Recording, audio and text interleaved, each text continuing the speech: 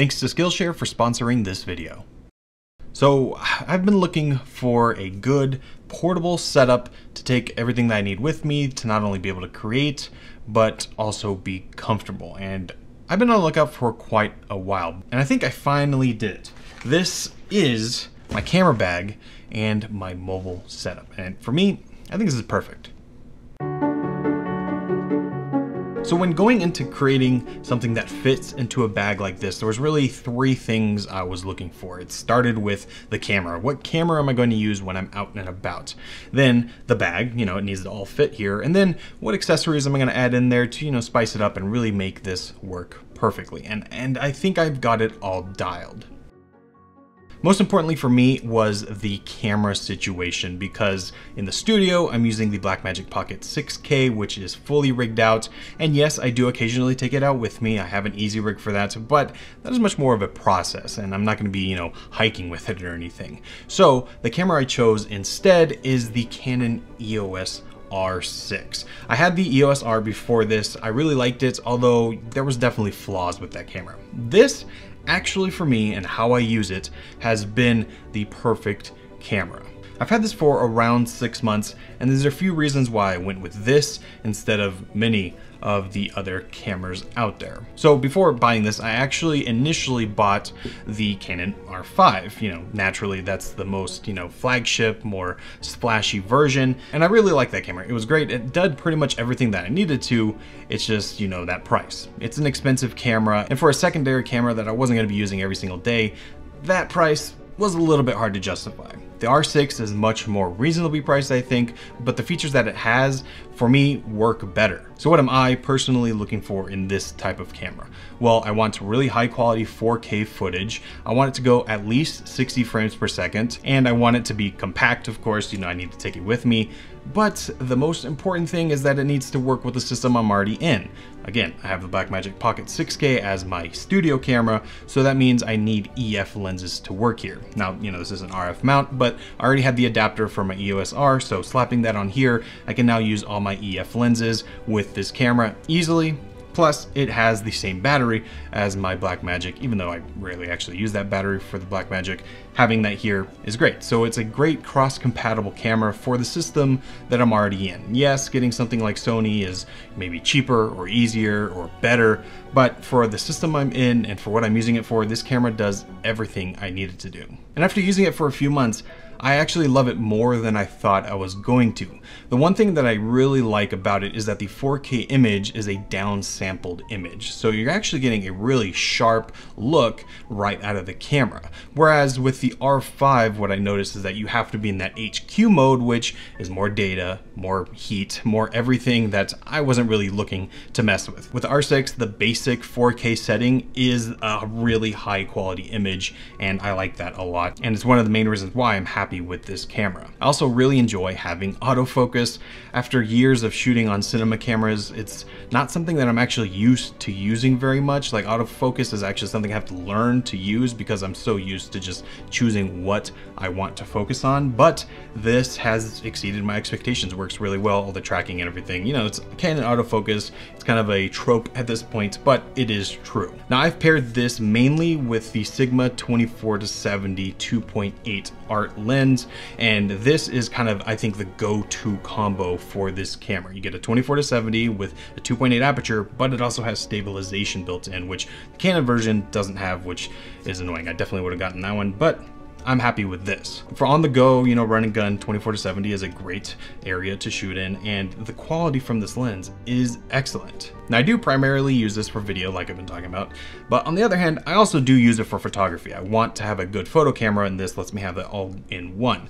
I was a little bit worried about the megapixels, but I haven't really noticed. I've done some, you know, back and forth between my EOS R and the R6, and yes, I mean, there is a difference, but it's not big enough for me. Any of the photos I'm taking are just for Instagram, so it's not gonna be that big of a deal. And I'm really enjoying shooting with this camera. Now, lastly, with this camera after a few months is I think the elephant in the room, which is the overheating. And yes, it is a thing. I can see the meter here and I can actually feel the camera get hot when I'm shooting for a long period of time, but I've never actually had the camera shut off on me. And I think that's just really because of how I shoot. I am very much a, you know, record a clip for a few seconds, stop, put the camera down, do that again, and just kind of repeat that process. So the camera has time to recuperate between each clip. But if you're someone who uses a continuous recording, not exactly sure this would be the camera I recommend, but again, this is for the way I shoot and for everything I do specifically. So, I mean, overall, after a few months, I am absolutely loving this camera. And if you're someone who needs a really, you know, solid but slightly more affordable camera, I think this is not a bad way to go. All right, real quick, before I continue, I want to thank this video sponsor, Skillshare. Skillshare is an online learning community with thousands of classes for anything creative. So if you're into photography, videography, design, illustration, I mean, even business, anything you can think of in that creative field, Skillshare has a class for you. And what I really enjoy about Skillshare is that no matter where you are in the line of learning, there's something that they have to offer. So whether you're just trying to learn a new skill from the very beginning, they have you, or if you're pretty advanced and you're just looking for some different tips that you may have never heard of, they have you covered. One of my favorite classes right now is from Jessica Kobeissi, which is about portrait photography. I've talked about this one before, but I, am just not very good at portrait photography, and it's something I want to get better at. So learning from someone who is very good is always great. And you know, personally for me, and I think a lot of us these days, learning online is kind of the main way we do it. You want to learn something, you go search it up and start watching. So if Skillshare sounds like something you want to check out, it is less than $10 a month for a premium membership. But for the first 1,000 of you to check out the link down in the description, you can get a free trial of Skillshare Premium. So go check it out and get learning. Now camera aside, I needed a way to actually carry all this, and that is where this bag comes in. So this is the Shimoda Action X30. Now Shimoda makes a bunch of different bags, not only different series, but this bag in different sizes. This is their smallest version, and I absolutely love it. Finding a good camera bag it's just hard. I'm very specific on what I need it to do and the features that I want. And this bag is one of the first that actually accomplishes all of them. And really what I'm looking for is something that is similar to a hiking backpack that I can take with me when I go hike or when I go out and about. Because that is where I like to shoot a lot of my footage when I'm reviewing a product or when I'm talking about something. I like being out in nature and actually getting out there and using these products and, you know, exploring it, making it a little bit different than just here at the desk. And because I like doing that, I want a bag that works with me. And what that means is I want something that works as a hiking bag. So even if I'm not carrying my camera, I could still use it. Or when I am, you know, carrying a camera, it's not too big and overly stuffed. And this does that very well. There's a ton of features with this bag, but I, I'll just highlight a few that I really love and I think are at least unique or really well suited to this bag. The first is that roll top.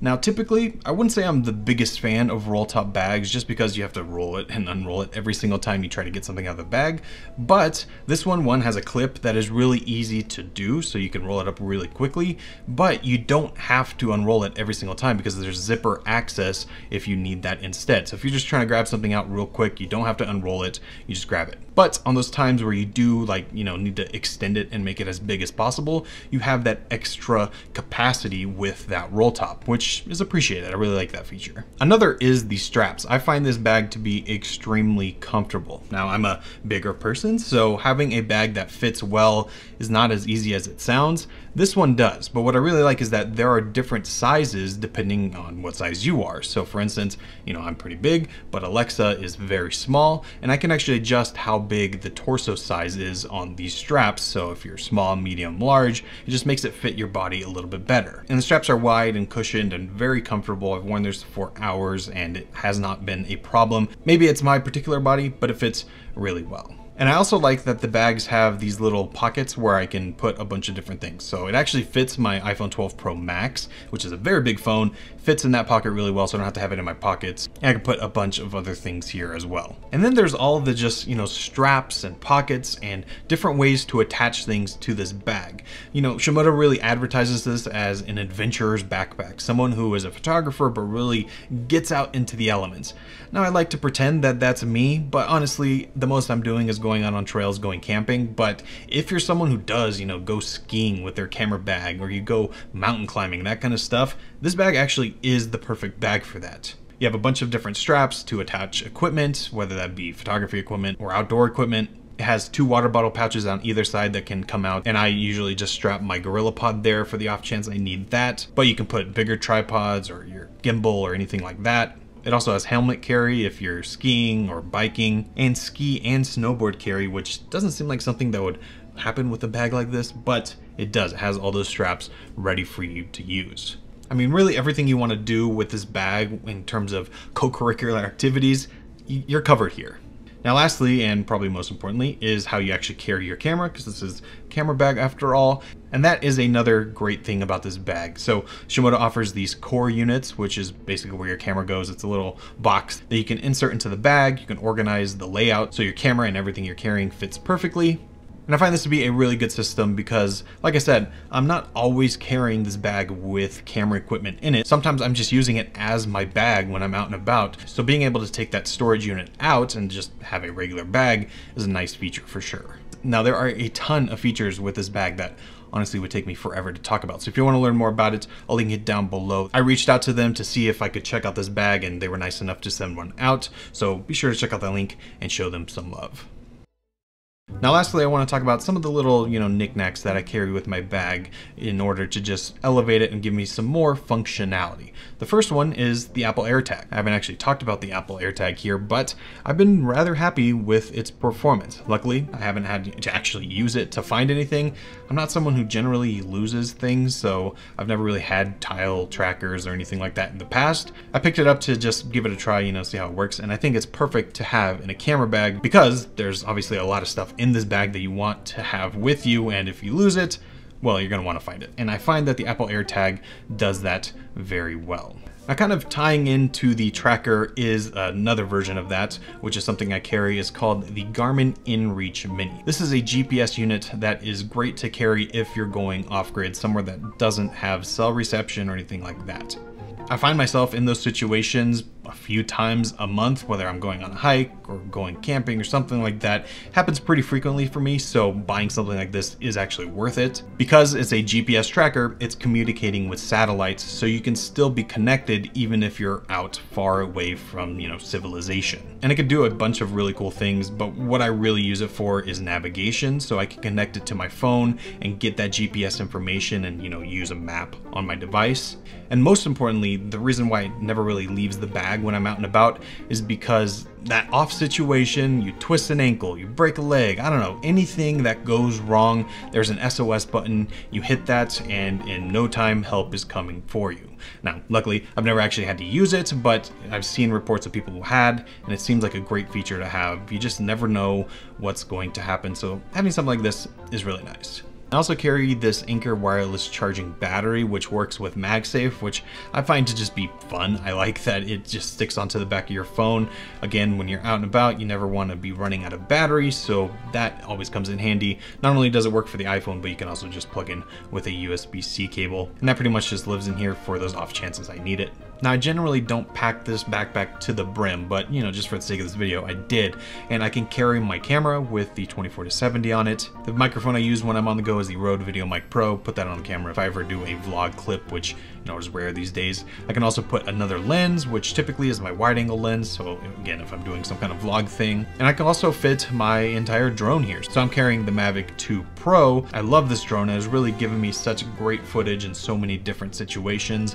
And it's one of those things that I just don't use enough. And the main reason is because I don't want to take it with me but being able to fit it into my bag easily changes that. I can actually take it places and actually use it. Now aside from the R6, I also like to carry a dedicated photo camera, which is more just for fun as kind of an artsy camera, and that for me is a Fuji X100F. This is a fixed focal length camera that I have absolutely loved. I've had this for a while, and it's just one of those fun cameras that is similar, I think, to shooting on your phone, but just gives you much better quality. So that's kind of what I use it for, just snapshots. I will probably probably make a much more in-depth video on this camera in the future, so stay tuned for that. But all of those things fit into this camera bag, and when I actually put it on, I don't feel like I'm carrying an entire house on my back. That's one of the things that really sold me about this bag.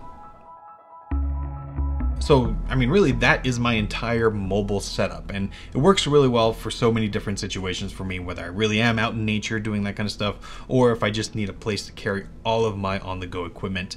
It works extremely well. And after getting this together, I finally have a really great studio setup, which I'm happy with, and a great mobile setup. I haven't had that in such a long time. It feels nice to have a great camera that I can take with me and also sit down and have great quality here. I mean, it's all coming together. I'm very happy.